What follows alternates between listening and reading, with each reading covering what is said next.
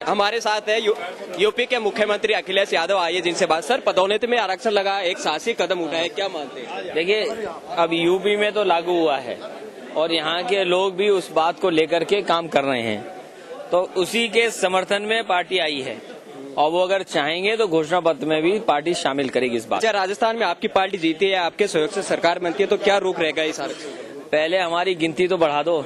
चुनाव तो आ जाए, तब आगे भूमिका क्या होगी तय करेंगे। ये थे हमारे साथ यूपी के मुख्यमंत्री अखिलेश यादव। उन्होंने कहा, हमारे विधायकों की संख्या अगर प्रदेश में बढ़ती है तो ज़ाहिर सी बात है कि इस फैसले को यहीं भी लागू करेंगे। कैमरा पर्सन मोहन कुमार के साथ दिनेश डांगी बीटीवी न्यूज़ जयपुर।